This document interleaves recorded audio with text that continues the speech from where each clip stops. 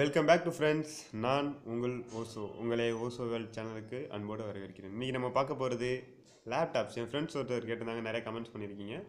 எப்படி லேப்டாப்ஸில் RAM increase பண்ணுறது அப்படின்ட்டு. வாங்க இதை செக் பண்ணி பார்ப்போம். நம்ம லேப்டாப்பில் டூ ஜிபி ரேமில் ஒரு நம்ம லேப்டாப் கையில் இருக்குது அதோட ரேமை எப்படி இன்க்ரீஸ் பண்ணுறது அப்படின்னு பார்க்க போகிறோம் அதுக்கு ஃபஸ்ட்டு லேப்டாப்பை பவர் ஆஃப் பண்ணிக்கோங்க. ஃபஸ்ட்டு பவர் ஆஃப் பண்ணிக்கோங்க. ஃபஸ்ட்டு இதை வந்து கவனமாக யூஸ் பண்ணுங்கள் லேப்டாப்போ பேட்டரிஸோ எதையுமே நீங்கள் வந்து ஸ்க்ராச் பண்ணாமல் ரொம்ப கேர்ஃபுல்லாக யூஸ் பண்ணுங்கள் ஃபர்ஸ்ட்டு என்ன பண்ணுறோம் அப்படின்னு பார்த்துக்கிட்டிங்கன்னா அதோட பேக் டோர் ஓப்பன் பண்ணும். அதுக்காக அந்த ஸ்க்ரூஸ்லாம் கட்டிய ஒன்று ஒன்றா ரிமூவ் பண்ணிக்கலாம். நான் ஒன்று ஒன்றா ரிமூவ் பண்ணுறேன் இப்போ பார்த்தீங்கன்னா எதுக்கு நம்ம இந்த மாதிரி ரேம் இன்க்ரீஸ் பண்ணோம் அப்படின்னா கேமிங் கிராஃபிக்ஸ் குவாலிட்டிக்காக தான் நம்ம வந்து ரேம் இன்க்ரீஸ் பண்ணிக்கிறோம். அந்த ரேம் இன்க்ரீஸ் பண்ணுறதுனால என்னென்ன நடக்கும் அப்படின்னு பார்த்தீங்கன்னா உங்களுக்கு எந்த ஒரு ஸ்ட்ரக்குமே இருக்காது லேப்டாப்பில் அதிகமாக நீங்கள் லாட் லாட்ஸ் ஆஃப் யூசேஜ் பண்ணிக்கலாம். அதுக்காக தான் நம்ம வந்து யூஸ் பண்ணணும் ஹேண்டிலாக யூஸ் பண்ணுங்கள் இது இப்போ இந்த டயோட்ஸ் அதெல்லாம் ரெசிஸ்டர் எதுவுமே பேர்ன் ஆகாமல் எதுலேயுமே கிராக் பண்ணாமல் ஸ்க்ராச் பண்ணாமல் கட் பண்ணுங்கள் பேக் டோர் ஓப்பன் பண்ணியாச்சு.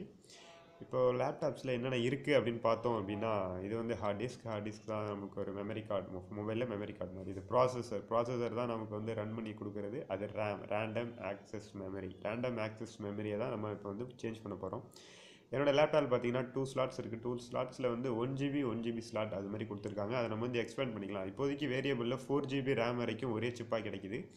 அந்த ஃபோர் ஜிபி ரேமை கூட நம்ம ஃபோர் ஜிபி ஃபோர் ஜிபி டோட்டலாக எயிட் ஜிபி யூஸ் பண்ணிக்கலாம்.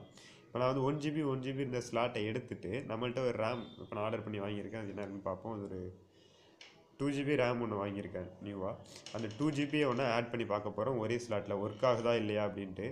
இந்த டூ ஜிபி அதை எடுத்துகிட்டு இதை பார்த்துங்க இதை நியூ ஒன்று இதை எடுத்து நம்ம இன்சர்ட் பண்ணிக்கிறோம். கே கேர்ஃபுல்லாக அதில் பின் ஸ்லாட் பார்த்தீங்கன்னா அந்த பக்கம் ஒரு டுவெண்ட்டி ஒன் பின்ஸ் இந்த பக்கம் ஒரு கவுண்டபிள் பின்ஸ் இருக்கும். அதுக்கு நடுவில் ஸ்ட்ரைட்டாக ஒரு பிளாக் கட்டிங் இருக்கும். அந்த கட்டிங்க்கு நேராக வச்சு ஒரு ப்ரெஸ் பண்ணிங்கன்னா ஓகே அப்புறம் வந்து லாங் ப்ரெஸ் பண்ணாமல் லைட்டாக ஒரு ஸ்லைடை வந்து அப்பர் சைடு ஒரு ப்ரெஸ் பண்ணிங்கன்னா உள்ளே போய் லாக் ஆகிடும் அதான் ஆட்டோமேட்டிக் லாக்கிங் அந்த ஸ்க்ரூ மாதிரி ஒன்று கொடுத்துருப்பாங்க. ஒரு ரெண்டு பின்ஸ் ஏன்னா எக்ஸ்ட்ரா என்ன ஒரு ஒன் ஜிபி இருக்குது அதையும் ஆட் பண்ணுறேன் இது ஒர்க் ஆகுதா? ஓவராலாக த்ரீ ஜிபி ஒர்க் ஆகுதா? அப்படின்னு பார்க்க போகிறோம் ஆட் பண்ணதுக்கு அப்புறமா மிச்சம் இருக்கிற ஒன் ஜிபி எடுத்து தனியாக வச்சுருங்க. நம்ம வேறு எதுக்காக யூஸ் பண்ணிக்கலாம். அடுத்த வீடியோவில் அதை எப்படி யூஸ்ஃபுல்லாக யூஸ் பண்ணுறதுன்னு காட்டுறோம்.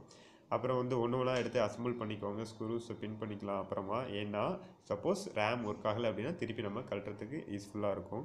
பேட்டரியை கரெக்டாக ஃபிட் பண்ணிக்கோங்க. தென் பவர் ஆன் பண்ணுங்கள் நான் பவர் ஆன் பண்ணிட்டேன்.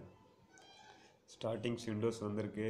ஓகே அப்போனா ஹார்ட் டிஸ்கில் நம்ம எந்த ஒரு ஸ்க்ராச்சஸும் இல்லை. ஹார்ட் டிஸ்கில் நம்ம கை வைக்கவே இல்லை. ஓகே பூட் ஆகுது ஓஎஸில் வந்து ஒரு கரப்டும் இல்லை பாஸ்வேர்ட் போட்டு உள்ளே போய்க்கிறேன் கீபோர்டும் ஒர்க் ஆகுது. நம்ம கீபோர்ட்லேயும் கை வைக்கல. ஓகே எல்லாமே பர்ஃபெக்டாக இருக்குது லேப் பர்ஃபெக்ட் கண்டிஷன் என்னோடய லேப்டாப் ஸ்க்ரீன் டிஸ்பிளே வந்து கீழே போட்டதுனால ஒரு ஸ்க்ரீன் அந்த கிராக் இருக்குது அது முன்னாடி இப்போ வந்ததில் முன்னிலேருந்தே இருக்குது நீங்கள் வீடியோ ஓப்பன் பண்ணால் பார்த்துக்கலாம்.